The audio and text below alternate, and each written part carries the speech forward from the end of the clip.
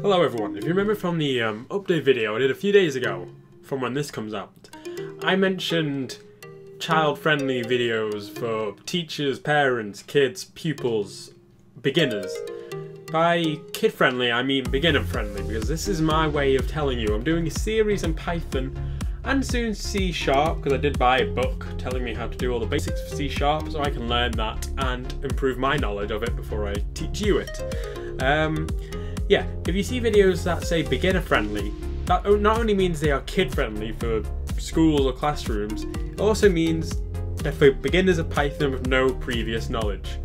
And I want to use this series to be able to teach you guys, and hopefully, you know, encourage parents to help teach their kids. And if any teachers, for some reason, stumble upon this, and you want to teach your pupils Python, or the pupils find this and you're having trouble with Python, you can watch this and I will 100% help you and get you to where you need to be. You, you can request how to do any basic thing you want, as I've shown on the screen right now. This is print hello world. Let me just show you how this works. And boom, hello world.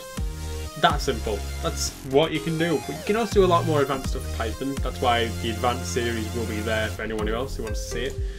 But programming is a great thing to get into, and I want to encourage more people to get into it. So hopefully with this series, I can be your teacher into exploring the wonderful world of Python.